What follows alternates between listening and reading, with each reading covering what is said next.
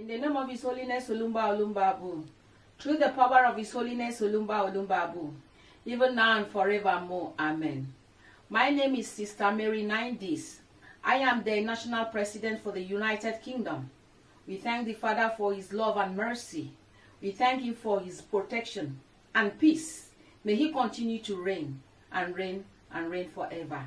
In the name of His Holiness Olumba Olumba Obu. I thank you, Mother, for your love. In the name of His Holiness Olumba Olumba Obu. Yes, another important day has come. Today is a special day. This April 2 is a very special month.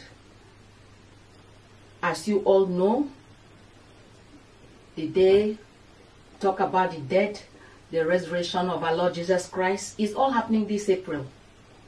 So dear Diamond Sisters, please try to calm yourself, be calm, and be prayerful.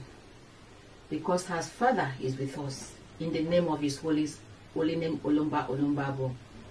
Dear Diamond Daughters of Olumba, today is a special day.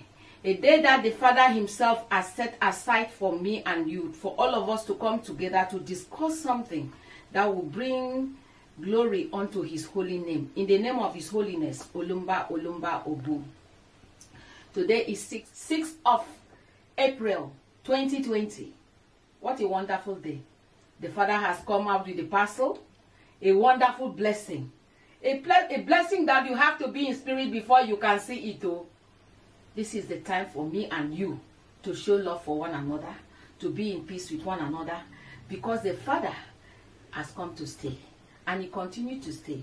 And He will continue to bless His children in the name of His holiness, Olumba Olumba Obu. Stay safe and be in prayer. Please respect the law. As they say, stay at home. Peace in the name of His holiness, Olumba Olumba.